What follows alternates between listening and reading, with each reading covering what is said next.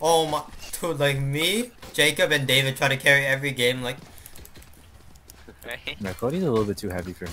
that's what I'm saying. I'm doing anything. You're in Exactly, Kodi. Doing nothing.